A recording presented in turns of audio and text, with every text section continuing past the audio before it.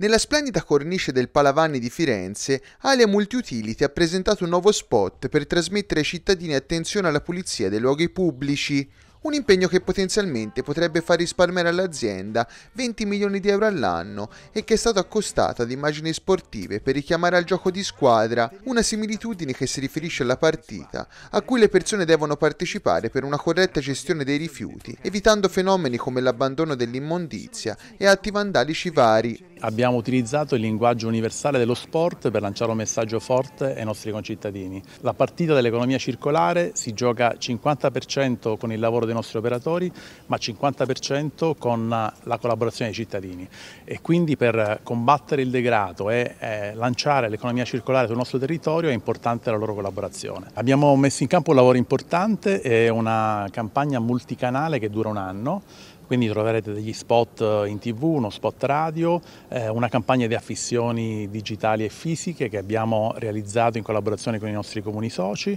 e poi tutta una serie di iniziative che si svilupperanno nei vari mesi fino a novembre. Un'idea intuitiva, ci troviamo in un luogo dello sport dove fare squadra, eh, dove la comunità fiorentina eh, e dello sport si riunisce eh, e questo è il senso della, del modo con cui noi intendiamo che eh, sia guardata eh, la gestione del, eh, della raccolta dei rifiuti, dello smaltimento dei rifiuti. Non basta l'azione della, eh, dei nostri operatori che tutti i giorni sono in strada a lavorare per eh, la pulizia delle città, dei luoghi, delle campagne, eh, ma c'è bisogno che tutti i cittadini, che tutte le imprese siano eh, attivi e si sentano responsabili dei gesti che fanno.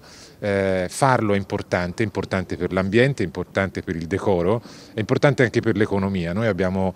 fatto una prima stima di quelli che sono i costi dell'inciviltà, li abbiamo chiamati così, che valgono almeno 20 milioni di euro, in qui ci rientrano tutti gli atti vandalici. È un invito a tutto tondo e una crescita della consapevolezza ambientale che per fortuna soprattutto eh, tra i più giovani e le più giovani è così molto diffusa.